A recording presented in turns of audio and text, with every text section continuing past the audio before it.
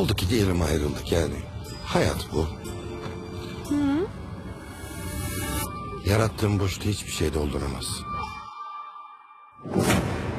Elif. Yıllar önce nasıl kazandıysam yine kazanan ben olacağım. Frenler tutmuyor ne yapayım ben? Frenler mi tutmuyor anne? Çocuklarım o arabadaydı. Çocuklarım.